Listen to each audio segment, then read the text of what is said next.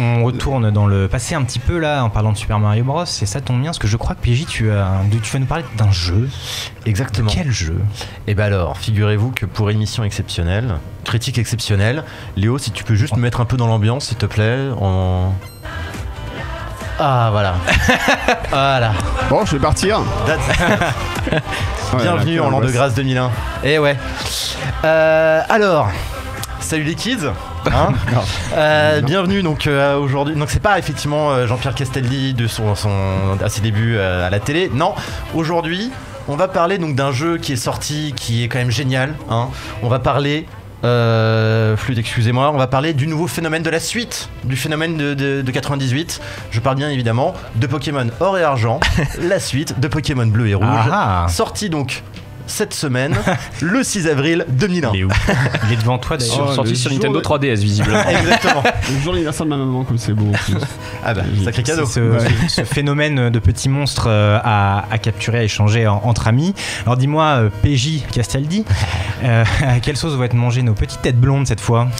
Eh ben, très cher Karel Boyer, c'est très simple. c'est le même, mais en mille fois mieux. L'histoire se déroule donc trois ans après les, deux premiers jeux et vous incarnez un garçon du nom de Gold, Julien, Jean ou Jacques dans la version française. Hein. on notera la facétie des, euh, des traducteurs. Euh, et vous partez à l'aventure donc pour attraper plein de Pokémon, battre des, euh, battre des maîtres d'arène, bref la routine. mais vous, vous, partez donc dans une nouvelle région, la région de Johto.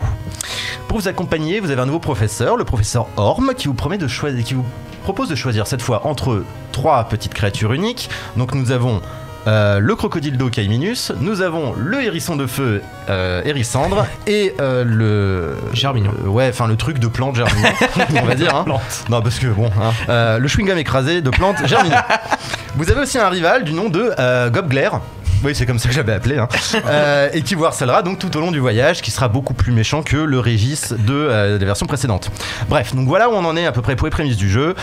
À partir de là, l'aventure souffre à vous. De ce que tu me dis, il y a rien de bien original là jusque-là. Hein à première vue, non, en effet. Attraper les Pokémon, donc on a dit collecter les badges, gna gna, déjouer plein de la Team Rocket.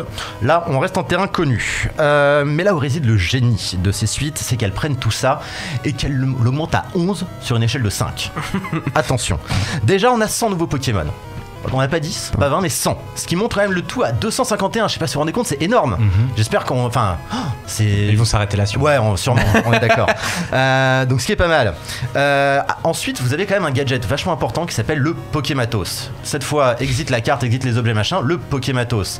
Vous avez ce, ce petit gadget vous permet notamment d'écouter la radio, d'appeler des gens, euh, d'avoir la carte et il me semble qu'il manque un dernier truc l'heure et la date voilà l'heure et la date c'est quand même magnifique bah, ça semble ça semble peu, ça semble évident mais mine de rien dans ce jeu tout ça ça permet en fait d'apporter une nouvelle mécanique ne serait-ce que l'heure et la date ça veut dire qu'il y a des cycles jour et nuit qui vont mhm. faire en sorte qu'il y ait des Pokémon qui apparaissent le jour d'autres d'autres la nuit il y a aussi des, des événements qui vont être liés au niveau du jour de la semaine où vous êtes donc rien que ça ça offre une nouvelle dynamique de jeu Ensuite, nous avons donc le euh, la radio. La radio qui permet donc de changer un peu la musique parce que bon, euh, si vous avez joué au Pokémon version rouge et bleu, euh, j'imagine que vous avez encore la musique de la bicyclette gravée au fer rouge hein, dans le cerveau. Là, vous allez pouvoir changer ça, euh, on va dire euh, changer un petit peu la saveur de vos voyages à pied ou à vélo. Ensuite, appeler le, téléphone permet d'appeler différents, différents dresseurs que vous avez déjà rencontrés, qui permettra ainsi de refaire des matchs contre eux, donc gagner de nouveau de l'argent,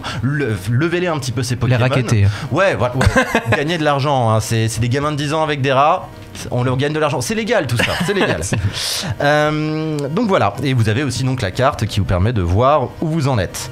Euh, et du coup, tu me dis que euh, le monde de Pokémon aurait évolué Bon, dis donc, elle est géniale cette transition. bien vu, exactement. Et encore, dans les détails de la mécanique, il y a par exemple deux types de nouveaux Pokémon qui entrent en jeu. Vous avez les aciers et les ténèbres, ce qui déjà complexifie énormément le style de jeu quand même déjà basé donc sur les attaques de, différents euh, types, euh, qui étaient déjà les deux premières versions. Ajouter à ça un système de baies aussi et d'objets à porter que les Pokémon peuvent porter donc pendant les combats et donc utiliser dès qu'ils peuvent en fait euh, dès que la situation l'incombe. Nous avons aussi des, donc des baies et des noix grumes donc c'est des objets que vous récupérez sur la carte mais qui vont en fait repousser en fonction des jours. Donc vous avez joué un, jour- vous avez joué une journée, vous avez ramassé les baies, et bah retournez-y le lendemain, vous en avez des C'est nouvelles. révolutionnaire. N'est-ce pas? C'est dingue, hein C'est le futur. Ils ont changé tellement de trucs que c'est une série qui va avoir du mal à se renouveler après quand Ça va, être, ça va être difficile, je pense. Mais là, Ah là, ils ont vraiment atteint, à mon avis, un pentacle, hein, genre un truc vraiment très élevé. Bref, vous avez aussi, par exemple, les Pokémon ont des sexes maintenant. Enfin, des genres, des sexes. Vous avez, maintenant, ils peuvent se reproduire. Et donc, plein de petits Pokémon œufs partout. Et notamment des bébés Pokémon, qui sont la seule façon d'en avoir, par exemple. Donc, il y a plein de trucs. Et comme c'est un jeu pour les enfants, évidemment, on voit pas ce qui se passe, je suppose. C'est pas Malheureusement. Malheureusement. Ouais, bah, Ah, t'aurais aimé, toi Mais écoute, un métamorphe, moi Ouais. je- franchement je suis très curieux de savoir comment il fait. Euh, donc voilà, donc là, Pourquoi je t'ai lancé sur ce sujet? Je regrette déjà.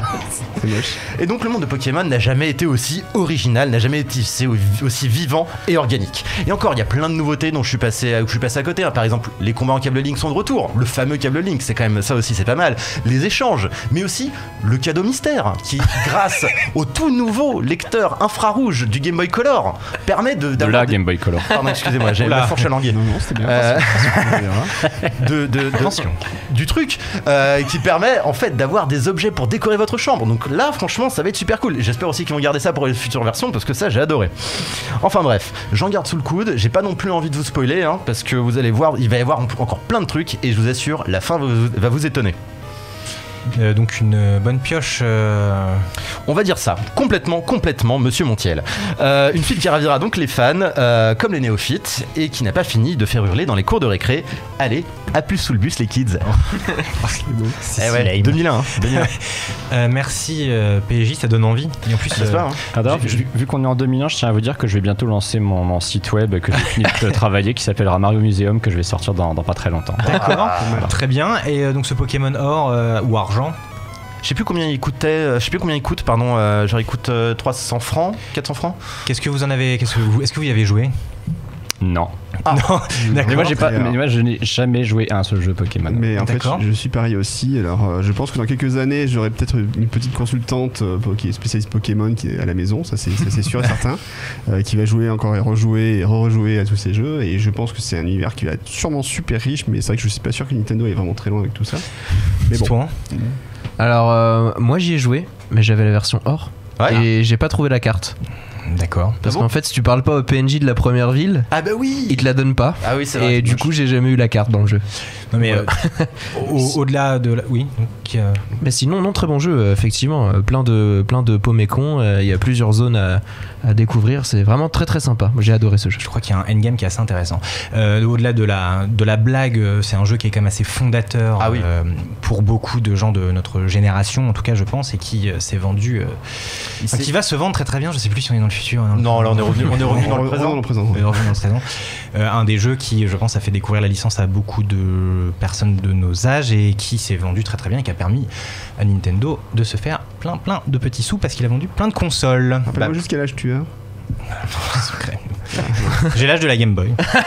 Ça. Personnellement, pour avoir, Je suis un peu plus haut, c'est pour ça. pour avoir dé- découvert en fait euh, li- littéralement le, le- le jeu à sa sortie, donc en 2001, après avoir joué à Pokémon euh, bleu étant gamin, ça, ça- ça, c'est pour moi c'était la version ultime de Pokémon. moi, c'est pareil. C'est- Déjà, il y avait des couleurs. Oui, non, mais il n'y a même pas que ça. C'est que déjà, les premières versions de Pokémon avaient été bâclées.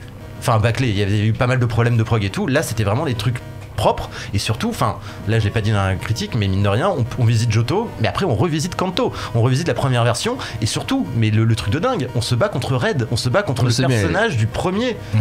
Et ça, c'est un combat ultime. Là, on entend la musique, mais c'est un truc quand t'es gamin. Il y a t'as un sentiment d'achievement qui est genre waouh, je, me suis- je suis plus fort que mon moi antérieur. et tu le vois qui sort son Pikachu à la fin, t'es là genre oh oh. Et c'est ah Tu t'es senti grandi? un peu ouais. ça fait ça fait de moi un homme. J'ai eu mon premier poil ce jour-là. Ok, très bien. As eu Merci. beaucoup d'autres depuis. On les voit un petit peu là. Je bête-. Merci messieurs pour euh, ces critiques. Jeux Ça- vidéo, BD, manga, séries et cinéma de genre. L'actu Pop and Geek, c'est dans Hyperlink, votre cocktail de bulles et de pixels, avec Karel et son équipe tous les dimanches à 16h, en direct sur VL.